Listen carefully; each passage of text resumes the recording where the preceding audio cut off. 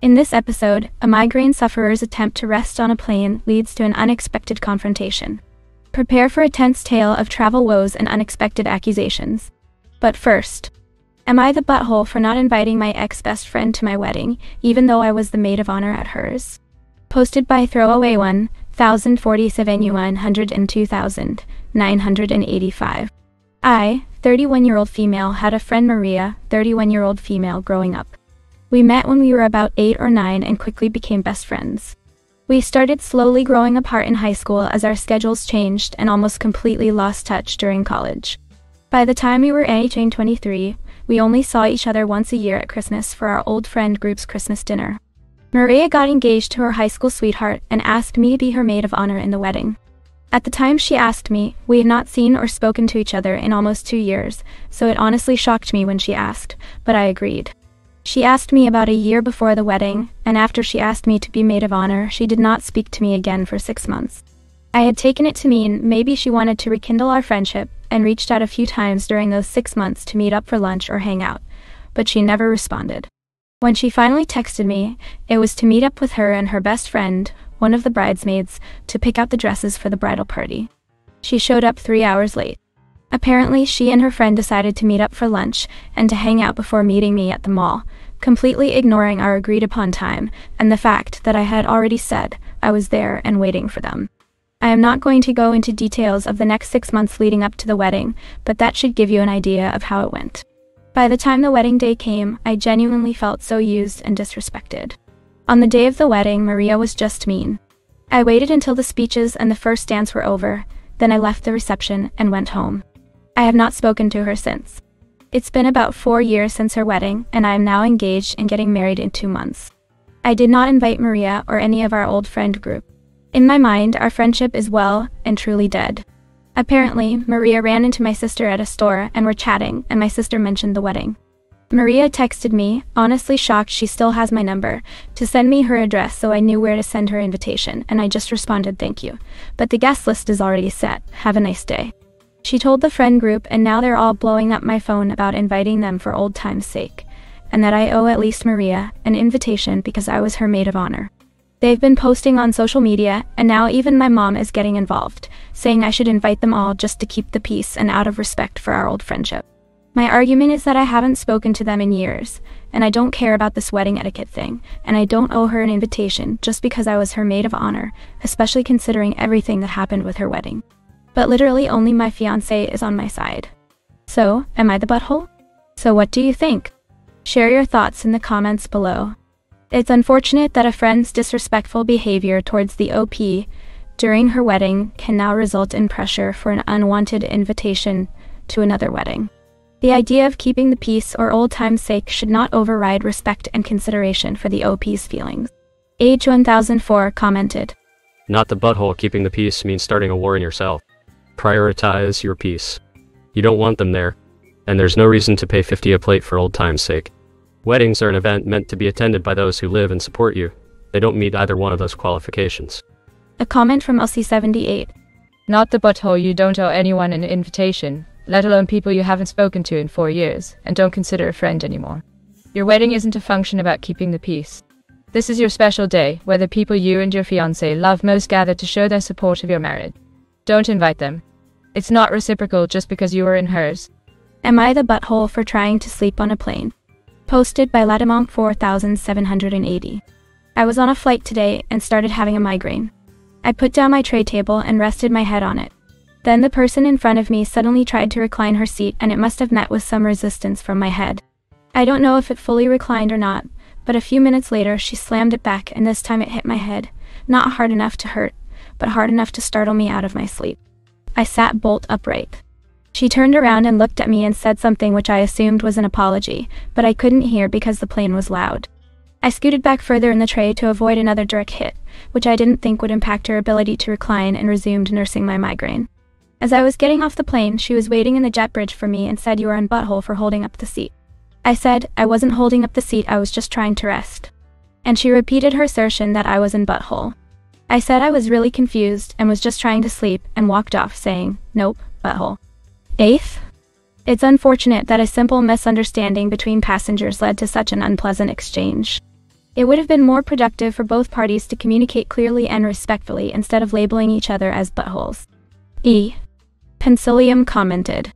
And H turned not the butthole, because she confronted you after landing. You both were just trying to be comfortable, and it's the airlines industry fault that we're all cramped like sardines in the plane, and that confrontational attitude from her was totally unnecessary. A comment from Carla thinks. What kind of precious poodle stalks someone after a flight to berate them for something that a mature adult could resolve in a normal conversation?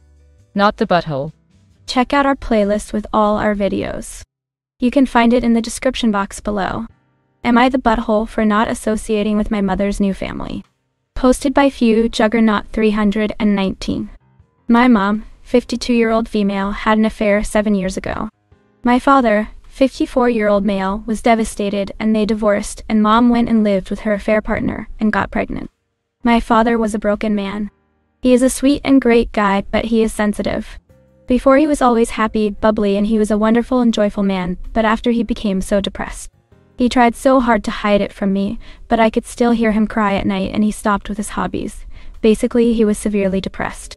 It took him years of work to get through the betrayal and he is finally doing better.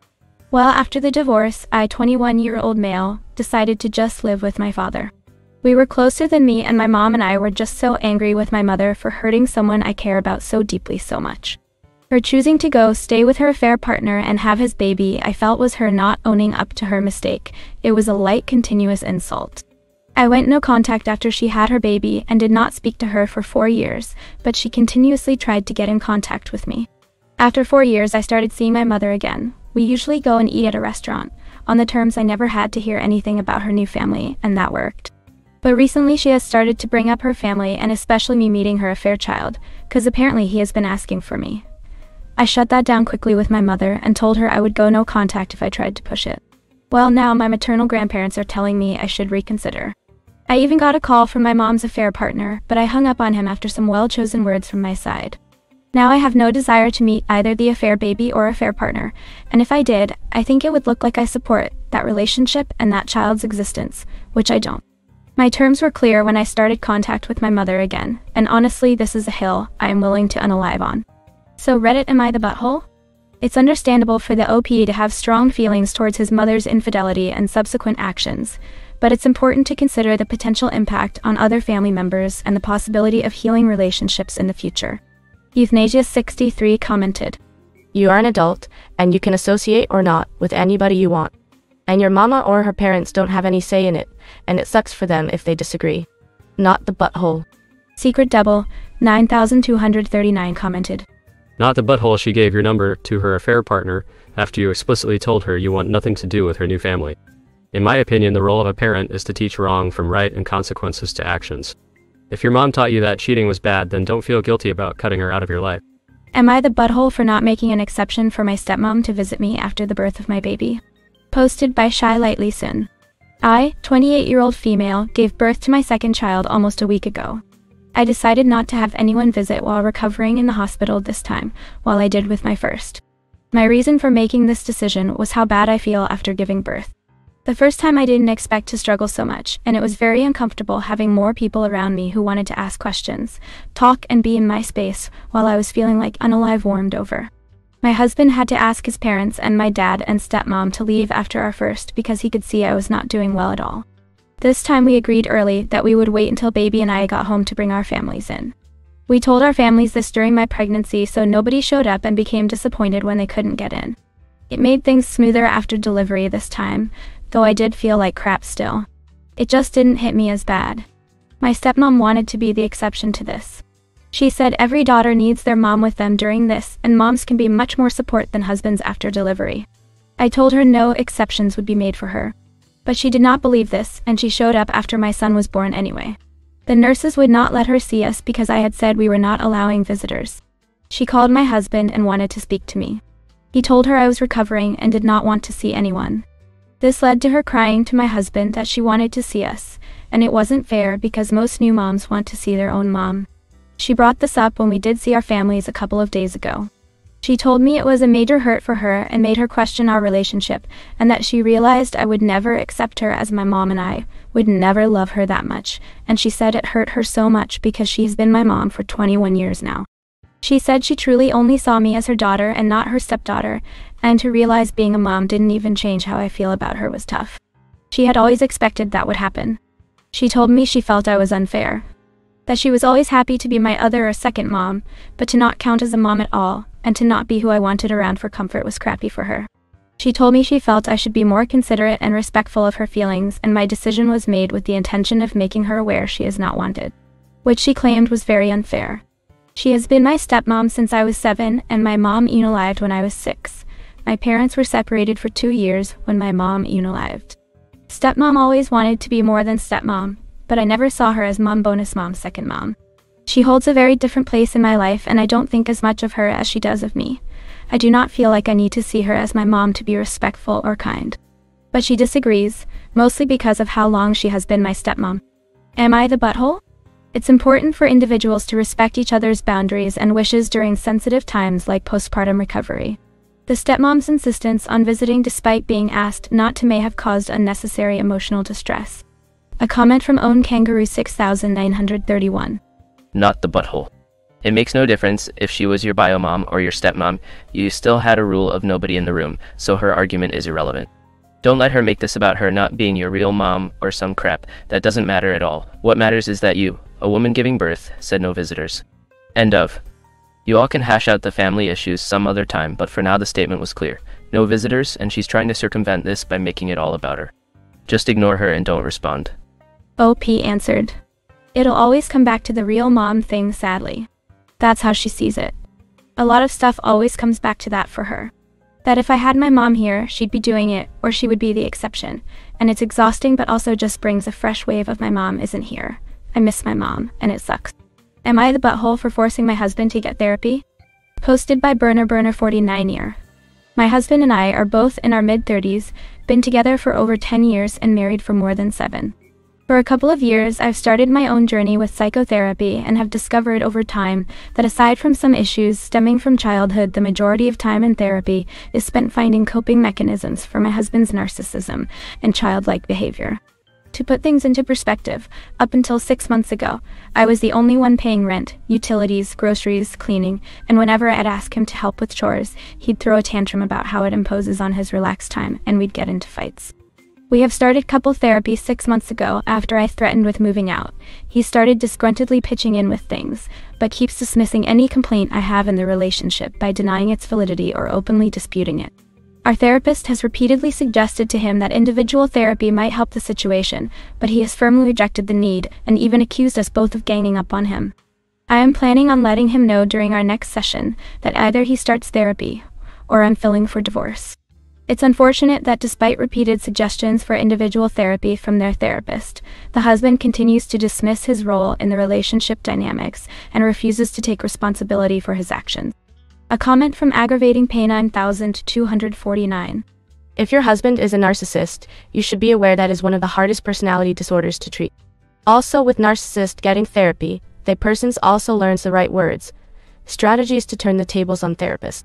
The narcissists learn how to spin everything to where they are the victim. OP answered.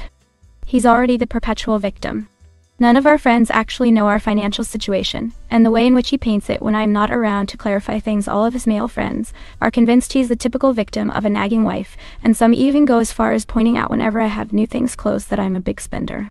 And because I don't have the energy anymore for the fight afterwards of you shamed me in front of my friends, I don't even clarify to them anymore that all I have I actually buy myself.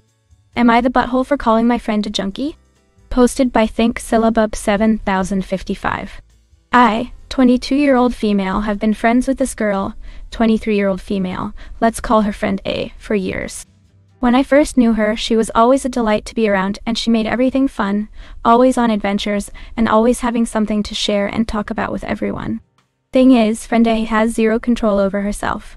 Whenever she drank, she would do it until she blacked out, every single time, and she would always call me and tell me to come get her, because her other friends wouldn't know what to do in such situations. I took it upon myself to teach her how to drink more responsibly. I would go with her to bars and keep an eye out for her alcohol consumption, and pay her tip to once.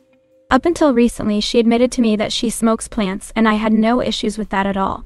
The smoking quickly turned into pills, and that's when I started taking issues with it. I would always tell her to be careful and not take any random pills she finds or anyone offers to her, and I'd immediately get screamed at and being called an butthole for trying to control her life. Things escalated quickly, and she went from taking one pill a day to 10 or and she would only handle.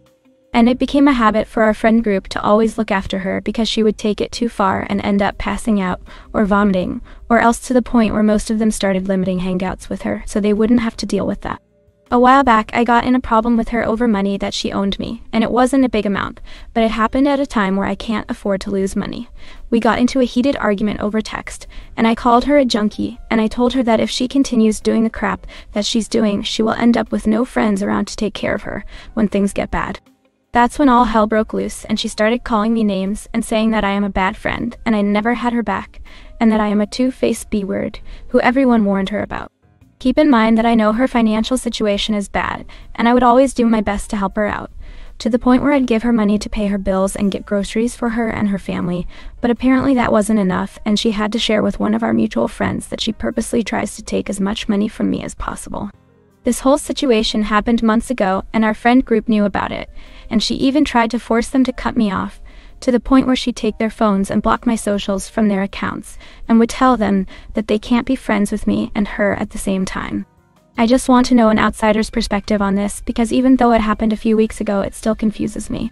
It's concerning how friend A's behavior towards the OP has shifted from appreciating her support to accusing her of being a bad friend. The situation raises questions about the nature of their friendship and whether it's healthy for either party. Militant Ignorance commented. Not the butthole this woman is nuts and will bankrupt anybody who keeps giving her money, which she needs to buy non-legal substances. You are enabling her non-legal substance use. Imagine how bad you will feel if you give her money and then she overdoses or suffers an alcohol-related mishap. OP replied. That's exactly the reason I decided to limit my interactions with her as much as possible before the fight happened. I don't want to live with that guilt, but it also saddens me to know that she's completely out of touch with reality. If you want more of this content, consider subscribing because we post new Reddit stories every single day. Check out our playlist with all our videos. You can find it in the description box below. Have a meowvelous day and see you in the next one.